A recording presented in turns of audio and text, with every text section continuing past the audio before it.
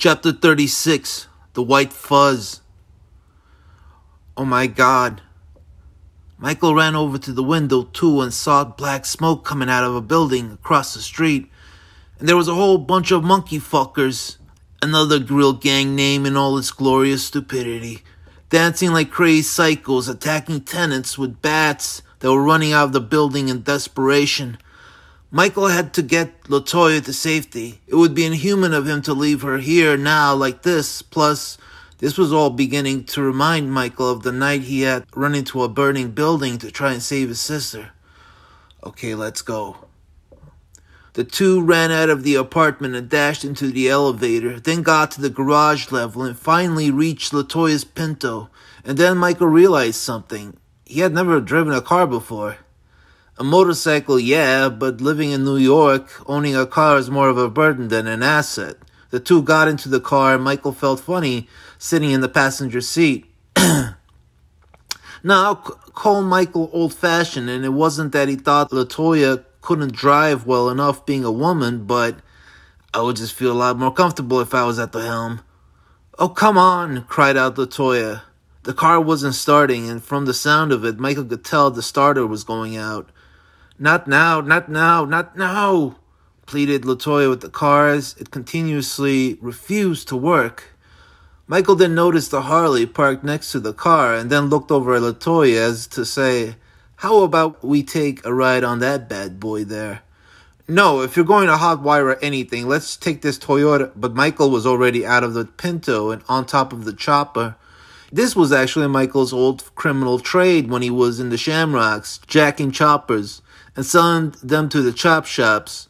And most of all, Michael just loved pissing off all the Hell's Angel wannabe tough guy types, the motorheads that came with the job, taking their wheels and driving off at the last second as they came running out, cursing him out in their redneck yammer. You know, there's a perfectly good Toyota next to my car, right? The chopper's engines growled. Too late, said Michael, smiling up at Latoya. Latoya reluctantly hopped on back and they were off. And then, wouldn't you know it, to Michael's luck, some redneck did pop out of the blue and started cussing too. a cross-eyed, shirtless, shoeless man that had a sagging gut covered with white fuzz, who began belly aching at Michael faster than he could check himself, firing off his 12 gauge in the air as a warning, as he cursed away, You fucking fuck you, I'll kill you, die! Yeehaw, asshole, put on some fucking shoes. And Michael was now feeling better again. As they got out of the garage and onto the street, a few of the monkey fuckers then took notice. Are you fucking kidding me? Thought Michael as he saw three of the idiots rushing in their direction.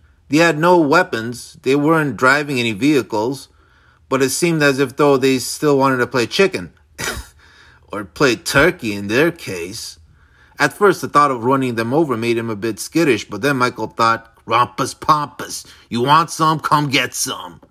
Michael then roared up the engines and took off, no longer feeling any hesitation in running them over clean.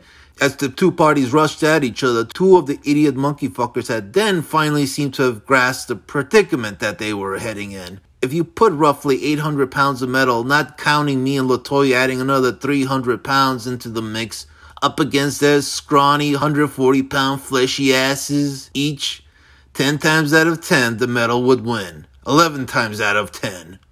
So as uh, the two of them got out of the way, the third one, who I'd say is the Nobel Prize winning gentleman of their guild, screamed then at the very last second before the collision. Michael rammed into the jerk off as the jerk off flew up high, then through right into a street lamp post and practically got tied up around it like a pretzel would. And to the side of that, the rest then started jumping up and down like hyped up monkeys would in a zoo that had been dosed with some acid even making ape like noises as Michael began to think that name was meant in a literal sense.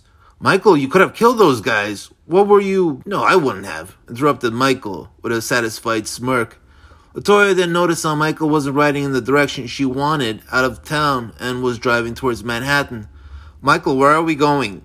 asked Latoya nervously. Michael didn't respond. Michael, this isn't the way out of the city. Michael, I don't want to go to Uptown. Put on some fucking shoes.